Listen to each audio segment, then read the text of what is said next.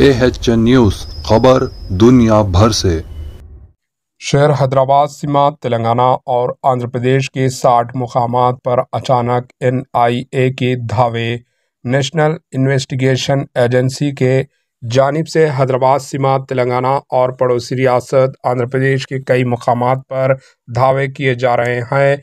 NIA के अहदेदारों तकरीबन 60 मकामात पर वकला और इंसानी हकूक़ तंजीमों के कायदीन के मकानात पर धावे कर रहे हैं।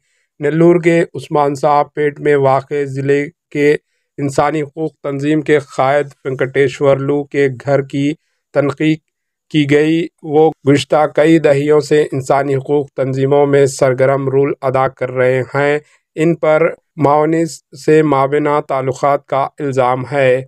इस तरह इंसानी हकूक़ तहरीक में कलीद रोल अदा करने वाले अनापूर्णा अनुषा के मकानात पर भी एन आई ए के अहदेदारों ने दावे किए। तिरुपति के रहने वाले एडवोकेट क्रांति चैतन्या नेल्लूर के अरुणा, गुंटूर के डॉक्टर राजा राव के अलावा ज़िले प्रकाशम में वाक़ कोला नरमू लनापुर, पुराटा, सुमति के कायदीन वेंकट राव, श्रीनिवास राव वगैरह के मकानात पर भी दावे किए गए। इस तरह हैदराबाद के विद्यानगर से ताल्लुक़ रखने वाले नामवार एडवोकेट और इंसानी हकूक़ तंजीम के कायद सुरेश के घर पर भी एन आई ए ने छापा मारा।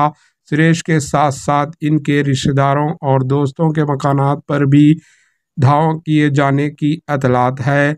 इन पर माओन्यूज़ से ताल्लुक़ात और तंजीम में भर्ती के अमल में मदद करने का इल्ज़ाम है।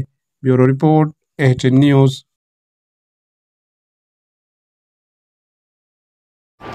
H news को लाइक करें, शेयर करें और सब्सक्राइब करना ना भूलें।